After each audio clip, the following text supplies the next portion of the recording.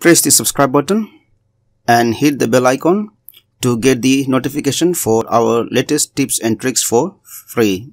Hi everyone and welcome to my YouTube channel and today in this video we will see how to disable Bixby in Galaxy Note 8.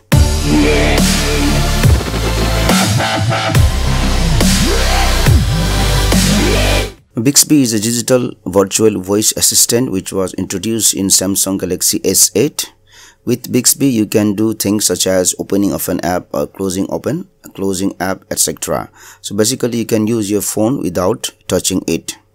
It's just at the preliminary stage, but uh, later on, we hope that Bixby uh, will take full control.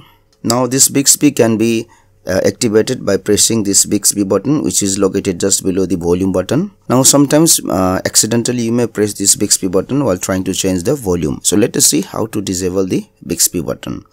For that one you will press the Bixby button we will uh, and you will go to this uh, screen here tap on this more option here and then disable Bixby also tap on these three dotted icons here go to settings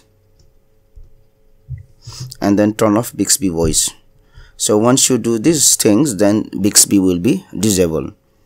Now later on if you want to enable Bixby again then what you'll do is you tap and hold on this screen swipe to the right tap on this Bixby home then enable this button here. Again tap on these three dotted icons here go to settings and enable Bixby voice now you have enabled Bixby so this is how you will either enable or disable Bixby in Samsung S8, S8 Plus or Note 8. Thank you for watching this video and please subscribe to my YouTube channel for more tips and tricks.